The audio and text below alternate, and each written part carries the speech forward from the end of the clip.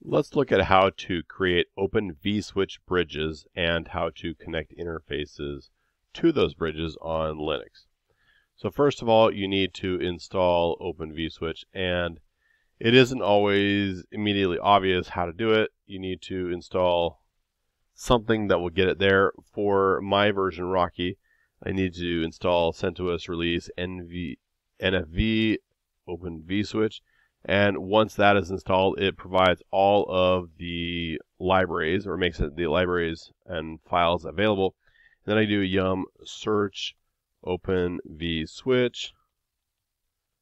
And then I can see all of them, all these different options.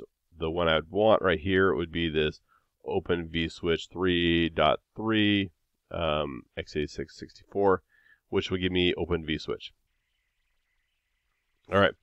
So um, that's already installed. And so the next thing I need to do on this machine is to start the Open vSwitch service. So I can do systemctl start open vSwitch. Once I start it, I can go ahead and check the status to make sure it's actually up and going. I can see that it is not um, enabled um, and that means that if I reboot, it will not be running.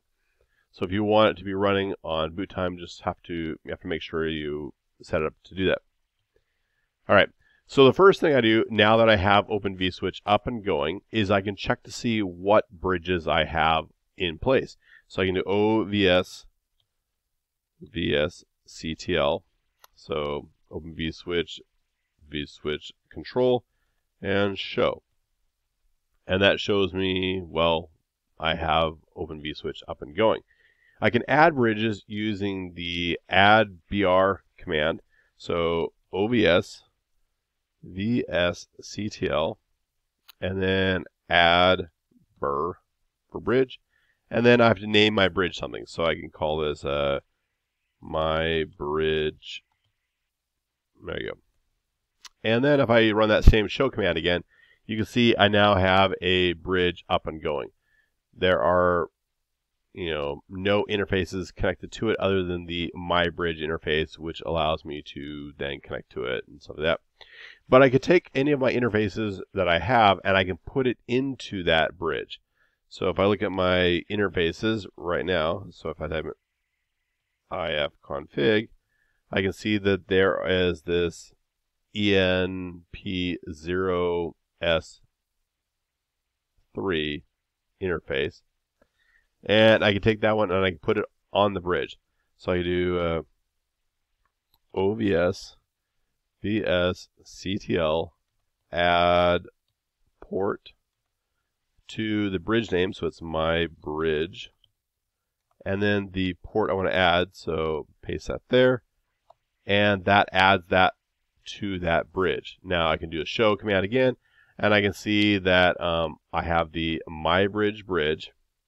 And on that bridge, I have just this MyBridge interface. And then I also have the interface for my external port. If I were to do that with multiple ports, I could connect them so that they would then work as a bridge. They'd basically be in the same subnet, and that allows them to be connected. Um, I can also um, give IP addresses to the interface right there if I wanted to give an IP address directly to this bridge interface. Um, I can also remove them, just like uh, the adding command. You can uh, remove it. And then if I look at the bridge again, you can see that the interface is now gone. I can also remove the interface or remove the bridge itself. So VS, VSCTL, and uh, I did a add br command to add the bridge, and I can do a del br to delete the my bridge, and that will remove the bridge. So just so you know, a bridge is basically a switch. It's a software-based switch, and that's the idea. You can create these bridges. Um, later, you can look at how you can use these open vSwitch bridges to do things like create tunnels, Um, you can create an entire layer 2 tunnel with multiple hosts just by having bridges and correcting connecting them together. Um, anyway, but this is nice. Um, once things are on here, so let's go ahead and create the bridge again. So I will go ahead and add the bridge, my bridge, and I'll add the port right there to that bridge. I'll do the show command again to see that it's there. And then I can look at information about that bridge. So for example, I can do o, OVS. And then if you press tab a couple times, you can see there are different commands. Um, one of these commands is appctl for app control. And I can do some about F database uh, show show my bridge. And what this does is it allows me to see MAC addresses that are connected to the bridge.